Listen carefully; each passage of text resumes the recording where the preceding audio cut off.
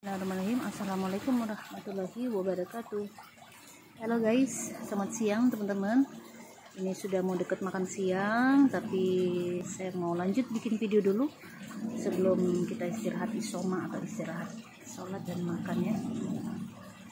I have here is with the label of Dendrobium farmerii Ini labelnya adalah Dendrobium farmeri With farmerii pink.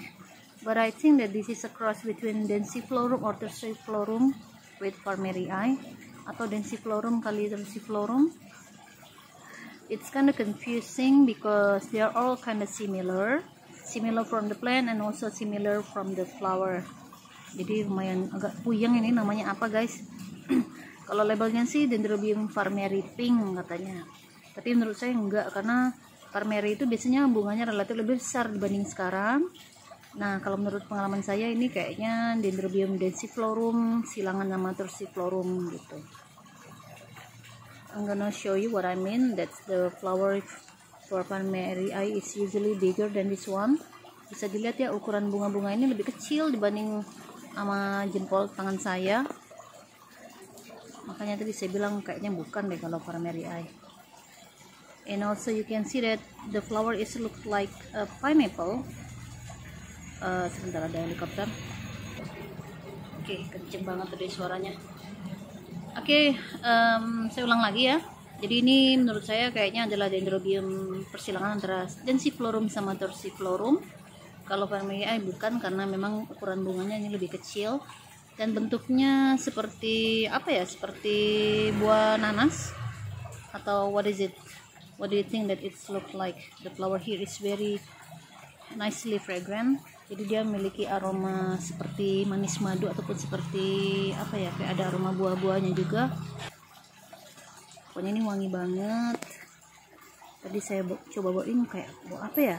I think that the smell is familiar enough but I still cannot describe it yet. Pokoknya wangi banget like a very nice uh, sweet honey lemon honey honey fruity honey something mungkin seperti aroma buah melon yang manis yang nyelekit banget gitu loh guys. And let's see the plant. Ini pohonnya uh, this is originally from the Thailand I think and they are using coconut husk. Jadi kalau plantnya itu masih awal dari Thailand dia masih pakai sabut kelapa yang utuh. Jadi ini kayaknya belum diubah. Mungkin nanti setelah berbunga harus di repotting guys. I think I will have to repotting it Oh ya, untuk anggrek dendrobium, if you see that they are having deciduous like this, this is not dead yet. Kalau melihat pohonnya itu bersifat deciduous, maksudnya menggugurkan semua atau sebagian daunnya, ini belum mati ya guys. Dia cuma di apa ya seperti dormant gitu atau seperti tidur, kondisi tidur.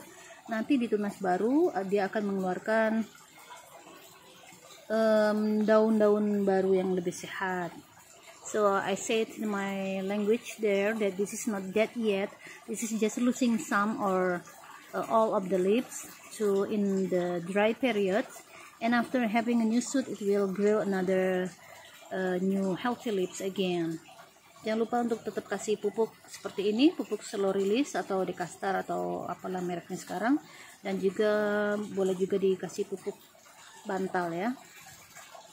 So I really love this flower because of the bunch and merrier flower here. Senang banget melihat bunganya yang dompiok banyak gitu ya.